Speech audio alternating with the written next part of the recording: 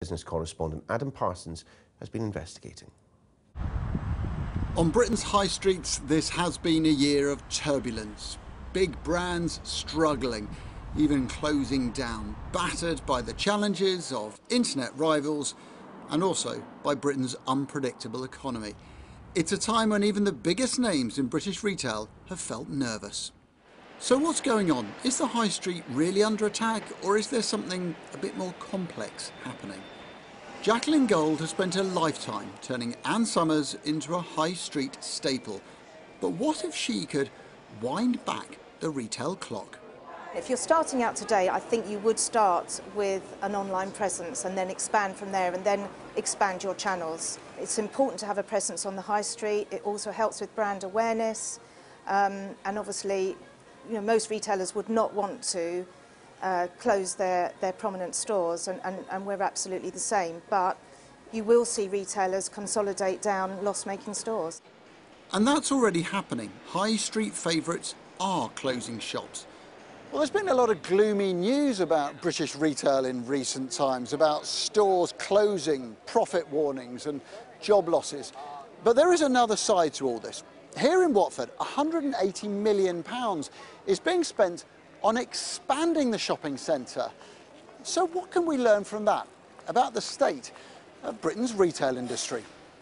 The company behind this is Intu, which owns 20 of the nation's biggest shopping centres, today dotted with cinemas, restaurants, a ski slope and even the occasional beach. Its boss told me that good retailers embrace the worlds of both bricks and clicks.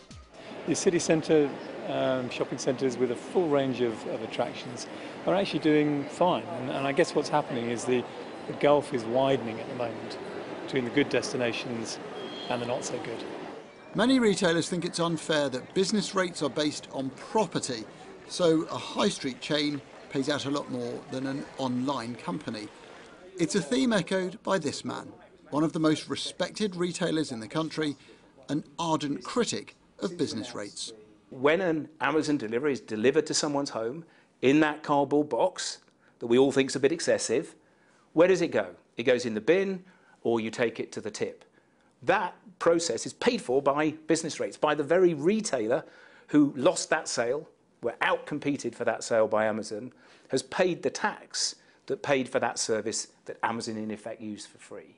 So it's the unbalancing of the playing field that I think is fundamentally wrong. His solution is radical. Cut business rates, put up VAT, and think about extra charges on online firms. If you look at the numbers, it's probably 2% on VAT would allow you to more than halve the business rate burden for, for retail.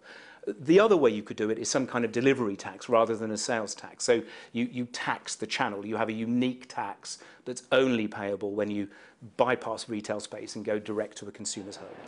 British retail has always been a turbulent world where trends move fast, but the internet has changed the parameters. Our shops aren't all dying off, but the ones that remain face a testing world of new, complex challenges. Adam Parsons, Sky News.